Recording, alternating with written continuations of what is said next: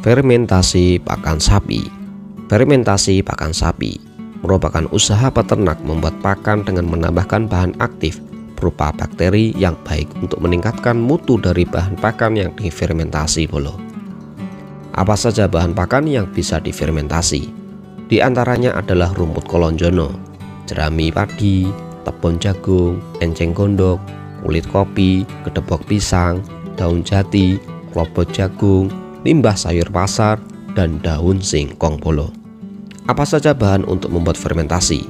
Umumnya yang harus ada, misal hijauan berupa rumput kelonjono, bisa diganti bahan lain yang sudah dicacah polo.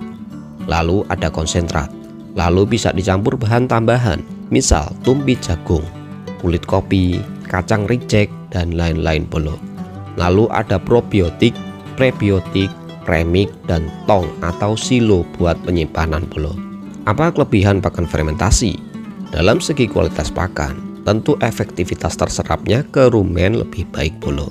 Karena dalam pembuatannya ada bakteri baik, yang itu bisa memudahkan proses pencernaan dalam rumen sapi polo.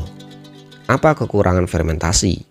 Resiko gagal pembuatannya cukup tinggi, karena harus tahu ilmunya membuat fermentasi pakan ya bolo belum lagi, jika tanpa mentor atau guru pendamping, beresiko menambah biaya dan waktu untuk membuatnya polo.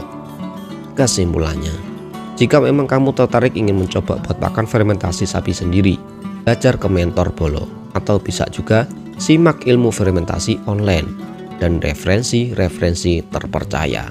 Tetap belajar dan mencoba hal baru untuk perkembangan ternak sapimu bolo. Share juga pengalamanmu membuat fermentasi di komentar ya Bolo. Sekian, salam ternak, semangat Bolo.